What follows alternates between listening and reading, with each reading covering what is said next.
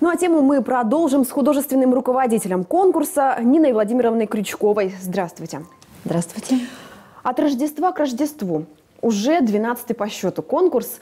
Как вы думаете, почему он э, продолжает жить и, более того, а, продолжает набирать обороты в плане количества участников. Есть в крае и в Сибири очень талантливые дети, которые хотят выступать, и здесь есть возможность показать свои силы.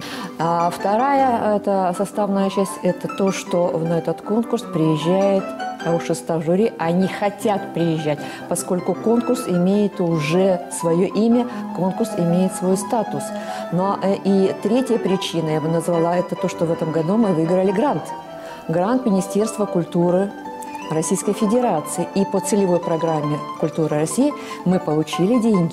Вот эти три составные, как слагаемые, они являются результатом того, что наш конкурс развивается, и он дальше будет жить.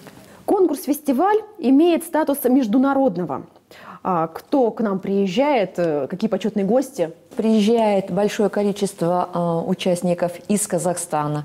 Из Павлодара к нам едет целый автобус, 50 человек. Кроме этого будут из Астаны, Ридера, Усть-Каменогорска, Семея.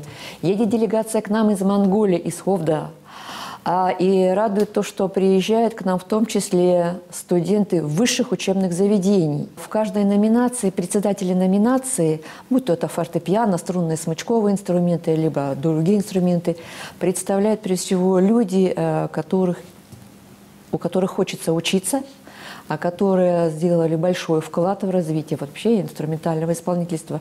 Но я бы назвала бы несколько имен. Это профессор Новосибирской консерватории Лариса Владимировна Смешко. Это пианистка.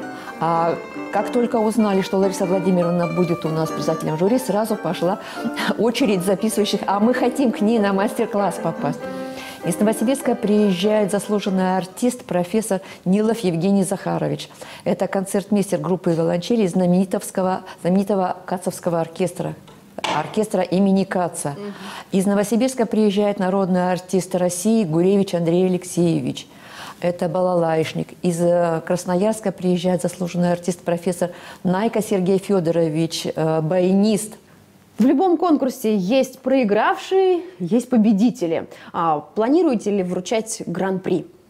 Один из наших спонсоров учредил а, гран-при. Гран-при будет составлять 50 тысяч рублей. Конечно, это большая сумма, но это только одно гран-при. Поэтому э, я хотела бы пожелать, как руководитель этого конкурса, членам жюри, а прежде всего председателям номинации, выбрать достойнейшего из шести представленных номинаций будет только одно гран-при. Но я думаю, что наше жюри, как профессиональное, объективное, оно выберет самого достойного, который получит на закрытии да, нашего конкурса из рук спонсора гран-при. Это впервые такой э, солидный приз, да? Да, впервые в рамках конкурса не только то, что мы выиграли и грант, э, что позволило нам привлечь вот такой звездный состав жюри, но и впервые в рамках конкурса такой приз. Ну что ж, пожелаем участникам удачи на конкурсе. Спасибо.